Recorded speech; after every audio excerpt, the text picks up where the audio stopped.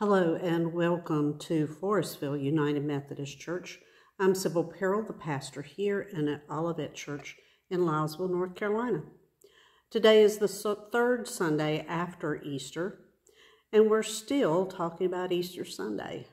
There's just a lot that, to take in in all of that. So I hope you'll stay with me as we look at what else happened on that first resurrection day.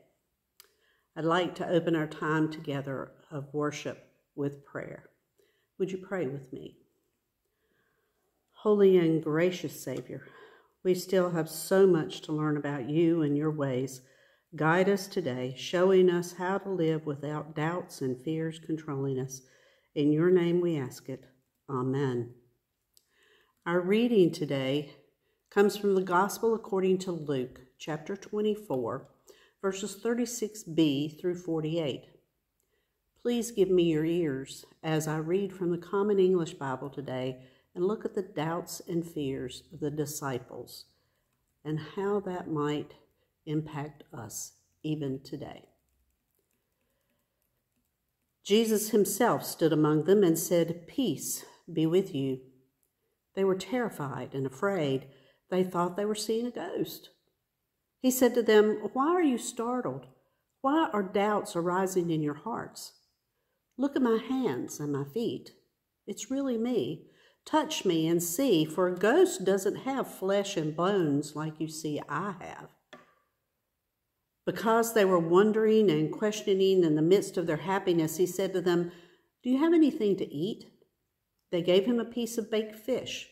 Taking it, he ate it in front of them.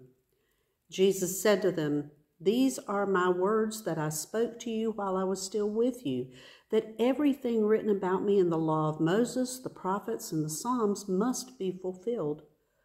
Then he opened their minds to understand the scriptures. He said to them, This is what is written The Christ will suffer and rise from the dead on the third day, and a change of heart and life for the forgiveness of sins must be preached in his name to all nations, beginning from Jerusalem. You are witnesses to these things. This is the word of God for the people of God. Thanks be to God.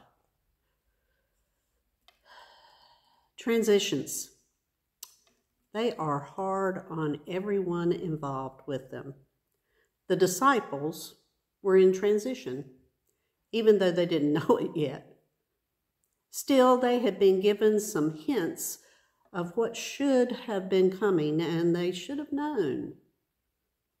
Luke tells us at the beginning of the chapter that Mary Magdalene and the other women had come back from the tomb and told the gathered disciples that morning that they had seen angels who told them that Jesus was risen. But the disciples didn't believe them. They were just women with idle ideas and some hysteria, probably.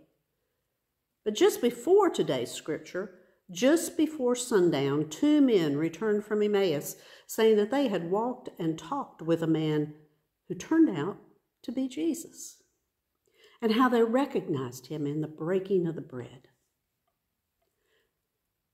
Then their transition becomes complete because our scripture today begins with Jesus standing in the room with them. But they weren't so delighted to see them. They were actually scared to death, thinking he was a ghost come back to haunt them because they had deserted him. Jesus shows them his hands and his feet, and, but they're still not really convinced it's him. He has to finally eat something in front of them before they believe that he's real. And Jesus helps them to understand the transition that they are now in, that his part of the ministry is over, but theirs is just beginning. Now they are to go and do and tell and keep the momentum going.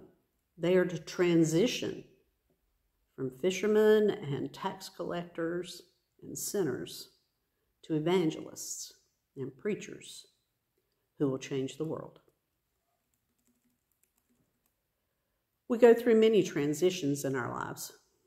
We were babies who transitioned into children. We went to school, another transition. Then we get out of school and have to find a job. Another transition. We get married. We have children. They go to school and move away. We get older. All these are transactions, major changes in our lives. Some are welcome, some not so much so. And each time there's a transition, we have doubts and fears. Babies doubt that they can walk. Parents doubt that they will ever be potty trained. Parents are fearful of SIDS and measles and accidents. Then the kid learns to drive, and everyone has doubts about their skill and is fearful about being on the road with them. And that's the easy transitions. Sometimes there are trans- transitions where our doubts and fears bring us to an absolute standstill, kind of like the disciples in that upper room, imprisoned there behind the closed and locked doors. We become empty nesters. We retire. A spouse dies. These transitions stop us in our tracks. Our doubts and fears take over. And all these transitions happen outside of ourselves, outside of our spiritual self. Those transitions are even harder sometimes.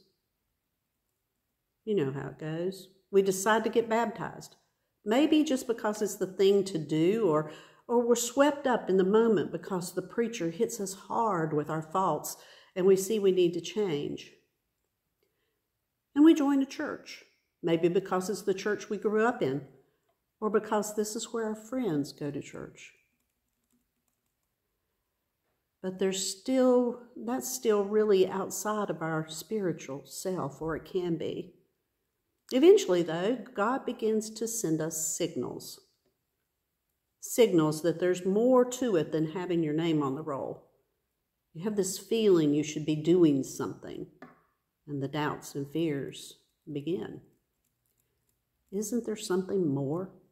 Shouldn't I feel differently than I do? What is God going to ask me to do? What if it's hard? What if I have to change jobs, sell all my stuff, and move to some foreign place and be a missionary? And so, in the midst of transition of being a Christian in name only to a true follower of God, we are stopped in our tracks by all our doubts and fears. And like the disciples, we hide and think we can stay hidden. But we have to remember Jesus walked through locked doors. Jesus can get to us even when we try to hide. And Jesus continues to quietly push us each day to do what he asks, to make the transition from a groupie to being part of the band. Jesus tells us peace. It won't be so bad. I'll be with you all the way through. But we still have doubts. How's he going to be with us? He's not physically here. How do I know I'm hearing him right, that it's not just my ego talking? How can I be sure it's him? I can't have him eat a piece of fish like the disciples did. How do I know for sure this is the plan? And finally, at some point, we actually acknowledge our doubts and fears to God. How do I know I'm getting this right? And God answers. God still gives us signs. You'll be in conversation with someone, and they'll say something about how good you'd be at something, and it's the very thing you feel God is leading you into. Or something that I've done in the past is continue to move toward whatever it is that I think God wants me to do and just tell Him, if this is your plan, if this is what you want me to do, it will work out to where I can do it. If not, I was wrong and it wasn't from you, and I'll keep searching. Every time I've done that, it has worked out for the best. And then I knew this really was God's plan for me. General Conference begins a couple of weeks from now in Charlotte. It's a time of transition for our denomination. But we aren't hiding away. We're keeping up with the petitions that are being brought forward, and we're praying for our delegates that they will make decisions that are right for the church, the decisions that God would have them make. For you see, they're in transition too, right now. They're in limbo, really, studying the petitions and waiting for the conference to begin. They aren't hiding, they're working hard to understand and to pray to God for help in making these decisions. We at Forestville and Olivet are in a state of transition in our churches as well. I'm leaving at the end of June, and a new minister will be coming. There are things to be done before that happens and things to continue to work on. Just because we're in transition doesn't mean we'll sit still until that change occurs. We'll keep working to be in mission. We'll keep working to care for those around us and to go and tell and make disciples of Jesus Christ for the transformation of the world. Yes, we have doubts and fears still. We don't know if General Conference will change anything, and if they do, whether it will impact us as individual churches and how. And that creates an unease as we wait. And we have doubts and fears as congregations in transition. Will you like your new minister? Will they be able to lead you forward through changes as they come up and, and help you lead in this community into the future. I have doubts and fears as well. Doubts as to whether I'm making the right decision to leave you all now. Fears because I'll be leaving my friends and support system here. Doubts that my new congregation will like me or be as welcoming as all of you were when I came here five years ago. But move forward we must. We must face our doubts and fears that we're not good enough to bring the good news to others, that we're too old and too small to impact our communities, that the new minister won't be a good match. We must leave all those doubts and fears behind and move into the future encouraged and optimistic because we serve the God of all things who loves us and is with us in all that we do. We can be bold and courageous because God is on our side and will help us through this transition into a future that is brighter than the present. We will follow where Jesus leads and look to Him for answers in His time and not ours. We will serve with patience, hope, and faith, knowing that we're on the right path to where God is leading us. We're to overcome our doubts and fears as the disciples did. We're to face the future with faith that our God goes with us, and we will. We are to be witnesses to the truth. We are to go and tell and change the world, beginning right here around us, just like the disciples began in Jerusalem and then went out into the world. We are followers of Jesus Christ, the Son of the living God, and we can do anything we need to do because Jesus goes with us. Let us pray. All knowing and gracious God, we are so thankful that even when we have doubts and are fearful, you are there with us. You show us the way we are to go. You lead us in the right direction. And we are humbled by your love and forgiveness and how you gently show us how to move forward when we're in transition. We thank you for beautiful days and all the festivities and reminders of Easter that are around us. The lilies and dogwoods blooming, and the, the empty cross and the empty tomb. Most of all, we thank you for Jesus Christ, who taught us how to live and showed us your love in so many different ways. We thank you that you showed us that love by being willing to die for us. And we thank you that that wasn't the end of it, but a new beginning that through the resurrection of Jesus on Easter morning, you have given us the opportunity to also rise and spend eternity with you. We ask your presence with Melvin and Mark, Keith and Nelson, with Cassie and Cecile. You know their problems, Holy One, and we just place them in your care, knowing you will do what is best for them. I ask you to be with these two churches as they transition through to a new pastor. Guide them and reduce their doubts and fears so they can move forward with your plan for them. And we ask you to be with our country as we continue to see so much violence, so many shootings and stabbings throughout our country. Draw our country back to you so that there can be healing of body and spirit throughout the land. All this we ask in your holy name. Amen. Our hymn today is the third verse of number 140 Great is thy faithfulness. The words are by Thomas Chisholm, and the music is by William Runyan. Pardon for sin and a peace that endureth, thine own dear presence to cheer and to guide, strength for today and bright tomorrow. Blessings all mine with ten thousand beside. Great is thy faithfulness, great is thy faithfulness.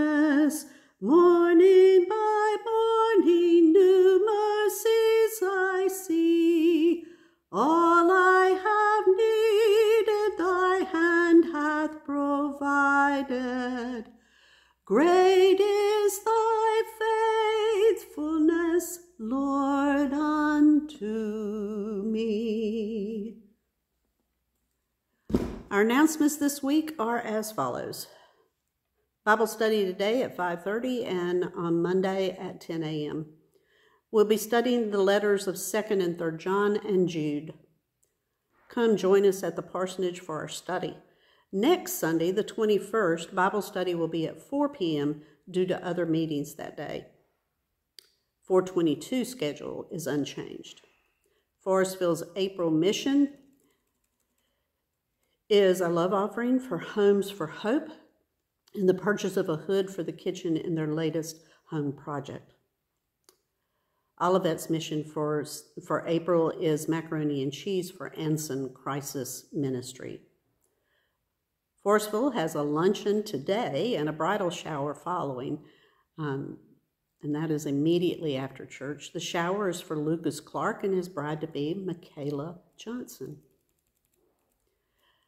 We'll have a joint PPRC meeting next Sunday, the 21st at 5:30 in the evening at the parsonage. The parsonage committee meeting will also be next Sunday, the 21st at 6:15 we will do a walkthrough through the parsonage with the PPRC. If you have comments, you can make those here on YouTube or Olivet's Facebook page. You can call or text me at 704 640 6872, or you can write us at P.O. Box 452, Lilesville, North Carolina 28091. Our blessing today comes from the letter of Jude verses 24 and 25, and his blessing to the congregation of believers that he wrote to. Now, to him who is able to keep you from falling and to present you without blemish before the presence of his glory with rejoicing, to the only God, our Savior, through Jesus Christ our Lord, be glory, majesty, dominion, and authority before all time and now and forever. Amen. God bless.